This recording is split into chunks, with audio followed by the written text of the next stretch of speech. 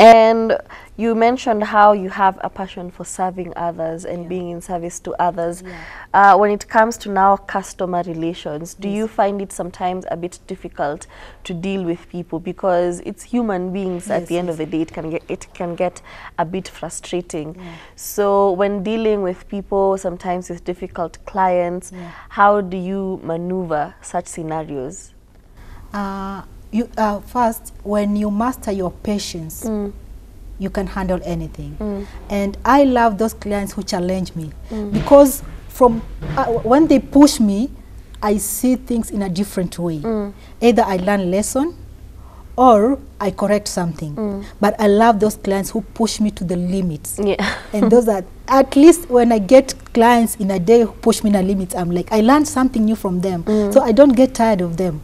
Yeah, I know it's it's human, as in you ma- you might feel like oh my God, this client has gone to my toes, but at the same time I'm like I need this client, Yeah. and I'm learning something from this client.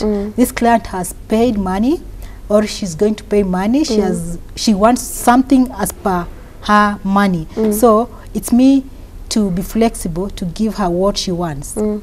So I always get such clients, but my attitude helps me a lot. Exactly. I remember uh, Dubai group uh, November. Oh my God, I've It was insane. difficult, insane.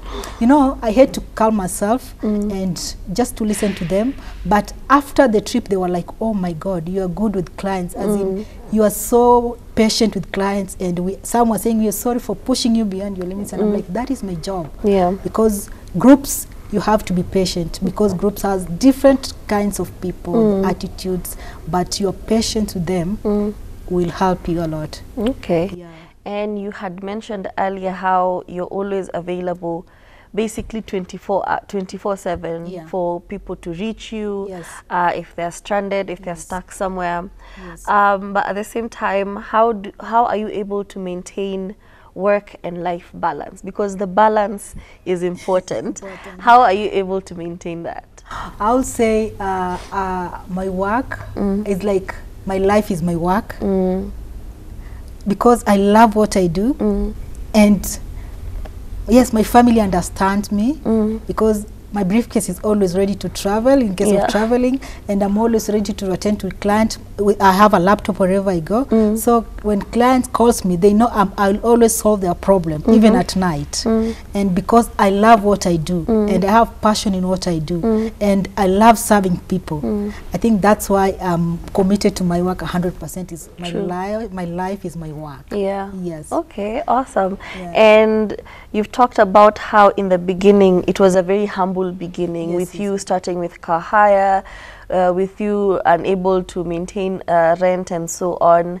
But you've grown over time and now you have people who work under you. So how was that, how has that transition been from you being a one-man team to you now delegating uh, duties to other people? Has it been simpler or now do you feel like I am now in charge of a bigger group of people who now work under me. It's more responsibility, more pressure, or is it just relieving that other people can do that?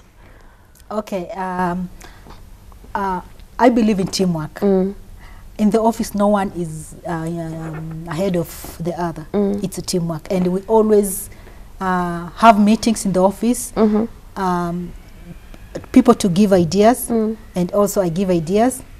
So I always tell people in the office, it's not about me, it's the teamwork. So if you have an idea, just table it and let us work as a team. Uh, you can't believe it that I know every client that books with Scenery Adventures. All of them. All of them. Mm. Because I take my time to follow up. Mm. Like, for example, any booking that comes, it's on to-do list. Mm. And my first thing in the off- office is to go through the to-do list and to follow up the clients and to read emails because all the emails are copied to me. Even if no one is in the office, Yeah. and that, that phone, I'm the one to receive the, the call. I'll give you the updates of your booking mm-hmm. because I'm always on toes uh, with the bookings in the office. Um, I I work as there's no as there's no leader. We work as a team. That's what I encourage people work as a team. And if you have a problem, uh, just share with us, and then we see how we're going to solve it. And uh, in the office, people are free. I, we, I don't check that what time have you arrived. As long as you finished you finish Your- your, your work what was set what was apart set for for, you. you. Yeah. Because apart from the to-do list you have in the office, mm. everyone has her own to-do list. Mm. So as long as you've cleared with your to-do list, mm. I don't have a problem with you. That's it. You're f- you, Okay. you have freedom to work, but make sure you deliver. Exactly. But don't mess with client because it's not. Uh, it's not easy to get a client. True. But losing a client, making me lose a client, you see my true colors. Yeah. Yeah. So I'm always strict also yeah. When it comes to taking advantage of clients. Mm. I protect my clients like I protect myself. Mm-hmm. Yes.